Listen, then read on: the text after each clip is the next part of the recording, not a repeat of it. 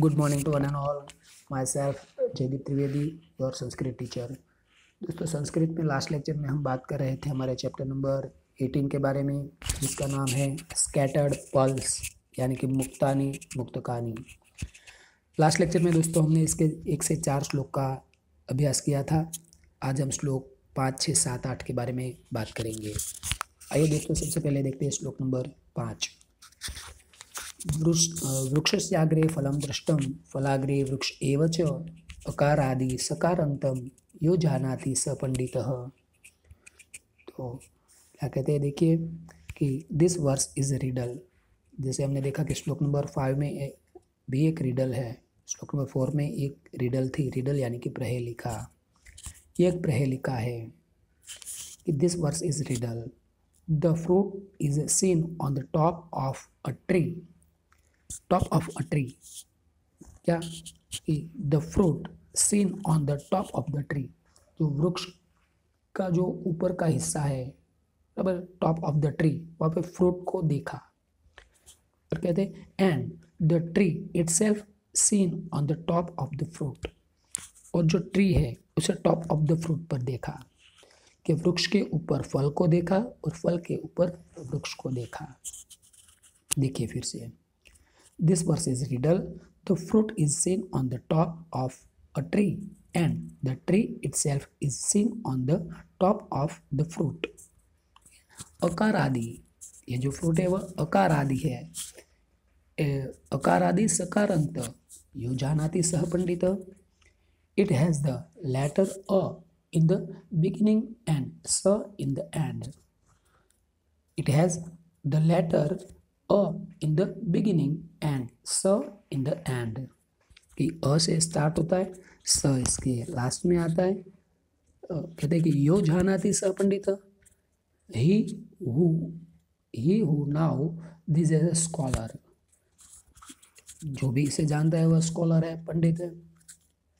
तो इसका आंसर दोस्तों आता है the answer of the riddle is अनानस यानी कि पाइनएप्पल ये जो रिडल है, इसका आंसर है दोस्तों पाइनएप्पल जैसे श्लोक नंबर चार में आंसर था अशोक। यहाँ पर आंसर है पाइनएप्पल ठीक है? पाइनएप्पल इसका आंसर है कि पाइनएप्पल जो होता है वह जो टॉप ऑफ़ द ट्री वहाँ पर होता है पाइनएप्पल फ्रूट और पाइनएप्पल फ्रूट के जो उसका ऊपरी हिस्सा होता है, वहाँ पर कुछ वृक्ष के पत्ते हम देख सकते हैं। ठीक है? और पाइनएप्पल को संस्कृत में अननस कहा जाता है, अननस। तो अ कारादि, अ से स्टार्ट होता है और कहते हैं कि सकार अंत, सकारांत। तो स पर समाप्त होता है अ न न स तो ये हुआ पाइनएप्पल फ्रूट के बारे में पहली। एक बार और इसका ट्रांसलेशन देख लीजिए। This verse is riddle the fruit is seen on the top of the tree and The tree itself is seen on the top of the fruit. It has the letter A in the beginning and S in the end. He who now this is a scholar. The answer of the riddle is ananas यानी कि pineapple ठीक है तो ये श्लोक यहाँ पर समाप्त होता है बात करें इसके ग्रामर की तो वृक्षस्य अग्रे किम दृष्टम क्वेश्चन पहले देख लेते वृक्षस्य अग्रे फलम दृष्टम फलाग्रे किम दृष्टम फलाग्रे वृक्ष च दृष्टम बात करें तो वृक्षस्य अग्रे वृक्षस्य अग्रे संधि विग्रह पूछा जाए। फलम तो फलम होगा अकारांत प्रथमा द्वितीय एक वचन। फलम फले फलानी, फलम फले फलानी। ठीक है? तो फलाग्रे, जैसे वृक्षाग्रे, ऐसे ही फलाग्रे। वृक्ष से अग्रे तो फल प्लस अग्रे, फलाग्रे। तो ये भी संधि विग्रह में पूछा जाता है। ठीक है? तो बस इतने क्वेश्चन इस श्लोक में आते हैं। बात करते हैं श्लोक नंबर छः की। यथा नैति कैलासम नगम गान सरस्वती, तथा नैति कैलासम न गंगान सरस्वती। ठीक है, देखिए, जिस तरीके से माउंटेन कैलाश पर गान सरस्वती हमें ले जाती है तथा नैति कैलाशम। उस तरीके से कैलाश माउंटेन पर न गंगा न सरस्वती, न तो गंगा नदी ले जा सकती है, न तो सरस्वती।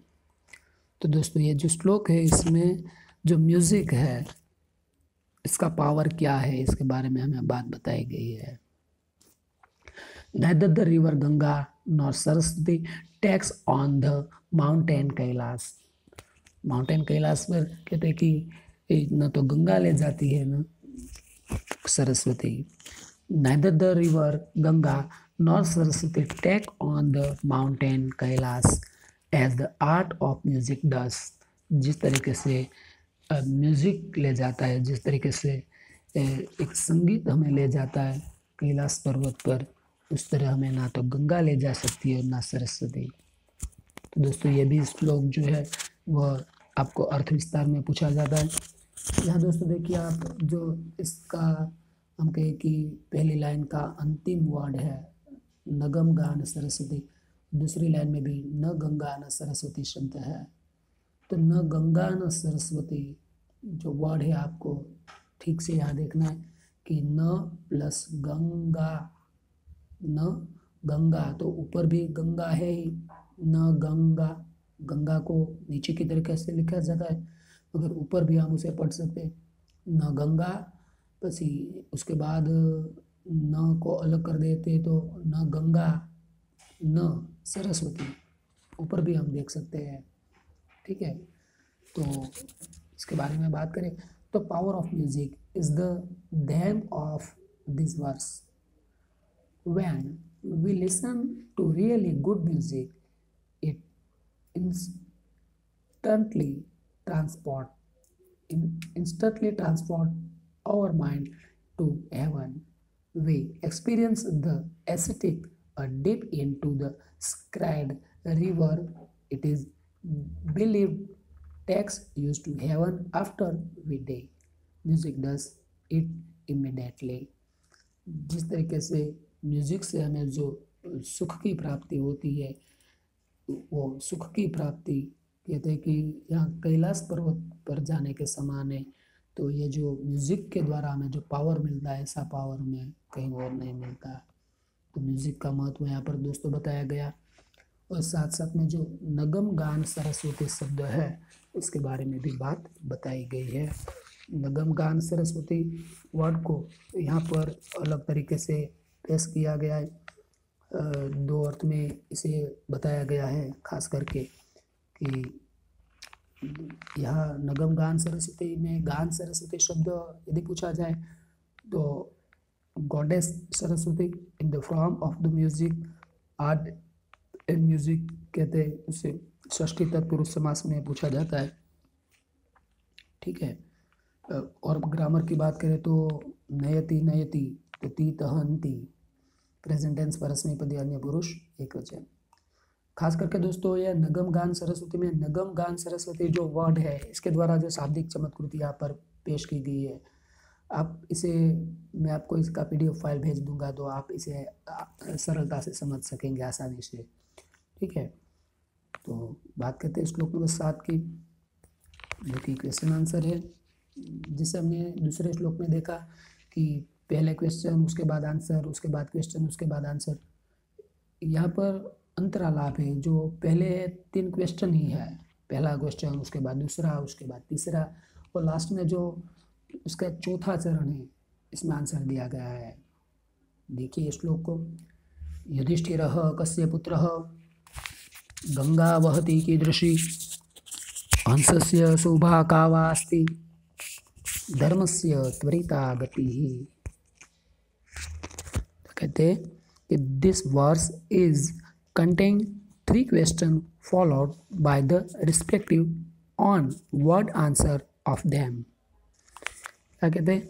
कि whose son is Yudhishthira whose son is Yudhishthira the answer धर्मस्य धर्मस्य यानी कि of Yama Dharma the god of death जो यमराज है, उन्हें धर्मराज भी कहा जाता है। युधिष्ठिर है, वो धर्मराज के सन कुंता माता को जो तीन पुत्र हासिल हुए थे, युधिष्ठिर, भीम और अर्जुन इसमें युधिष्ठिर यमराज की कृपा से, Yama the day the god of death उसके आशीर्वाद से प्राप्त हुए थे। भीम, जो कि पवन देव की कृपा से उन्हें प्राप्त हुए, और अर्जुन, जो इंद्रदेव की कृपा से प्राप्त हुए। तो यहाँ पर क्वेश्चन है वो सन इज़ युधिष्ठिर कहते हैं कि धर्मस्य of Yama Dharma the god of death दूसरा question in what manner does the river Ganga flow कि गंगा कीदृशी बहती? गंगा नदी है, वह किस तरह से बहती है? तो कहते कि त्वरिता, यानी कि fast what manner does the river Ganga flow fast और थर्ड क्वेश्चन दूसरी लाइन में what is the beauty of a swan जो स्वान है, हंस है, उसकी ब्यूटी क्या है? इट्स गेट उसकी जो गति है, उसकी जो चाल है, वो उसकी गति है, और वही उसकी ब्यूटी है। तो ये रहा श्लोक नंबर सात, जो कि क्वेश्चन आंसर के तौर पर है। और इसका ट्रांसलेशन देखिए आप। This verse contain three question follow by the respective and one word answer of them one word में उसका आंसर दिया गया है। वो सन इज़ युधिष्ठिर धर्मस्य of Yama Dharma the god of death in what manner does the river Ganga flow त्वरिता यानी कि fast what is the beauty of a swan गति, यानी कि इट गेट्स तो ये हुआ दोस्तों, श्लोक नंबर सात। यहाँ से क्वेश्चन आंसर पूछे जा सकते कि युधिष्ठिर कस्य पुत्र? युधिष्ठिर धर्मस्य पुत्र। गंगा वहती कीदृशी गंगा वहती त्वरिता फास्ट हंस से शोभा का वास्ती हंस से शोभा गति। ही ठीक है? और वास्ती। वास्ती में देखिए आप तो व प्लस अस्थि व प्लस अस्थि जो है, संधि विग्रह में पूछा जाता है। तो ये भी याद रखना, जैसे नास्ते होता है वैसा ही वहाँ वास्ती है, ठीक है? तो बात करते हैं श्लोक नंबर एट की। श्लोक नंबर आठ, जिसमें सारे समास के नाम आप देख सकते हैं कि द्वंद्वो दिगुरपि च अहम मत गेहे नित्यम अव्ययी भाव तत्पुरुष कर्मधारय ये न अहम श्याम बहुव्रीही। तो यहाँ दोस्तों आप गुजराती में भी समास पढ़ते हैं। ठीक है सब समास के नाम आगे, द्वंद्व, द्विगु, अव्ययी भाव, तत्पुरुष, कर्मधारय, बहुरी। तो कहते हैं कि आई एम द्वंद्व, मैं द्वंद्व हूँ। द्वंद्व यानी कि a couple a married person द्वंद्व जो युग्म होता है, जिसे हम कहते हैं कपल अ मैरिड पर्सन उन्हें द्वंद्व कहा जाता है।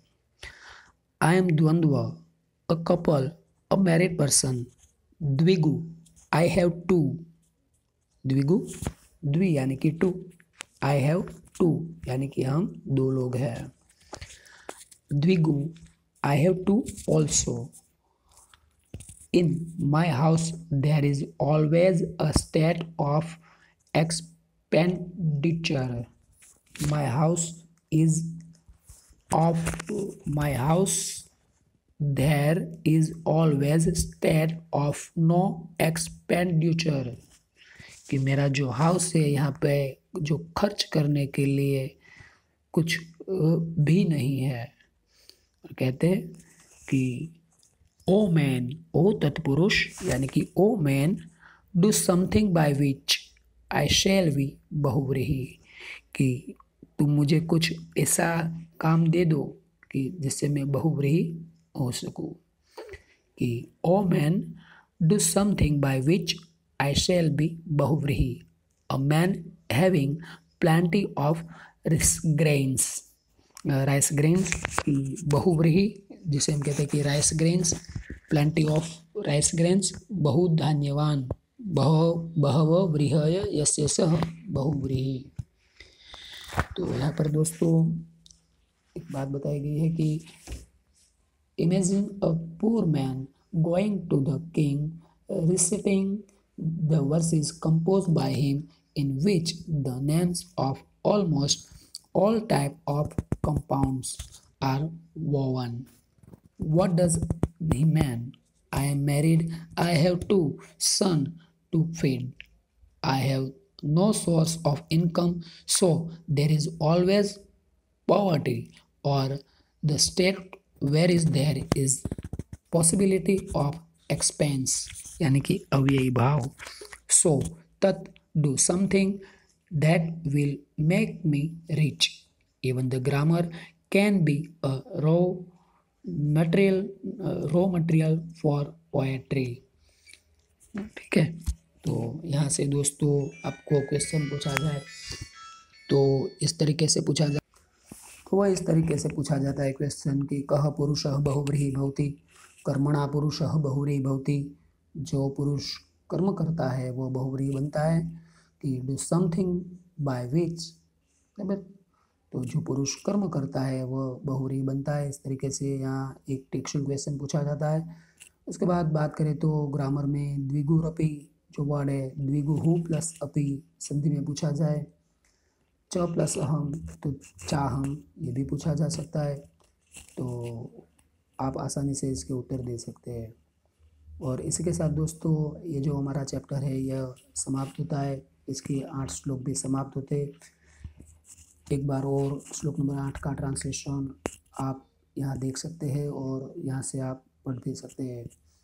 आई एम द्वंद्व a couple a married person द्विगु I have two also I mean in my house there is always state of no expenditure O man do something by which I shall be बहुब्रही a man having plenty of rice grains यहाँ दोस्तों, ये श्लोक के साथ हमारा chapter number eighteen समाप्त होता है।